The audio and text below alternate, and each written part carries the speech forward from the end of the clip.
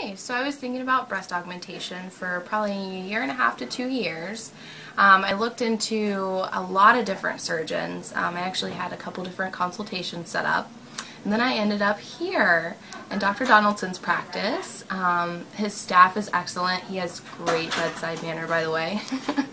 um, basically, uh, when it goes into it, I was just, I was really nervous, to be honest.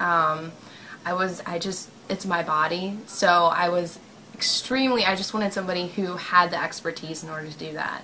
Um, and I definitely found that here. I mean, my look is completely natural, which is really what I wanted to go for. Um, and if anybody asks, I tell all my friends, okay, he's the best, just come here.